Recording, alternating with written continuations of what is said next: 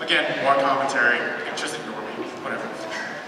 Too much drama over there. Can it? Does everyone agree with me on that? No. Yeah. Yeah. No. No. Yeah. No. Okay. All right. Let's not.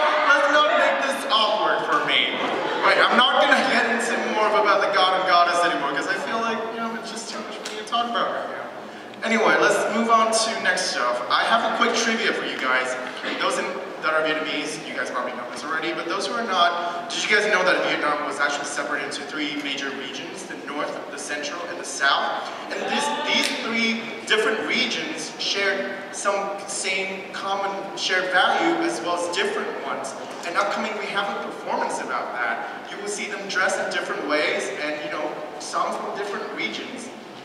So let me introduce you guys, Jimmy, Ngawai, and Hun.